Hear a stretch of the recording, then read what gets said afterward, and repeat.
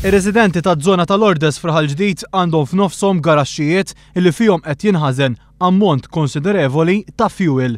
Dan wara deċiżjoni tal-MEPA fil-ħmistax ta' Diċembru li għadda, ħamest ijiem wara li waqa' l-Gvern.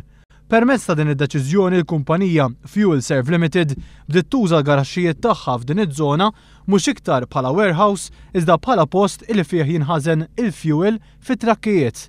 Il-gazzetta Malta Today irrapportat illi d-Direttorat tal-Ippjanar kien irrakkomanda li dan it-tibdil fil-permess ma jsirx proprju minħabba li dawn il-fjuwils ser jispiċċaw jinħażnu qrib tad-djar, tant illi l-Case Officer fir-rapport tiegħu kien qal li dan l-iżvilupp iġib periklu u inkonvenjent partikolari, fost l-oħrajn minħabba r-riskji ta' nirien, nuqqas ta' ventilazzjoni u sustanzi perikolużi.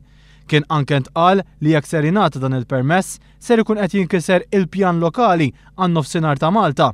Skont il-Malta Today, wieħed mill-assessuri ta rapport illi lanqas biss kien iffirmat u li fuq il-bażi tiegħu inħareġ il-permess mill-MEPA kien Alan Bruni Olivier, direttur u shareholder fil-kumpanija Fuelserv Limited innifisha.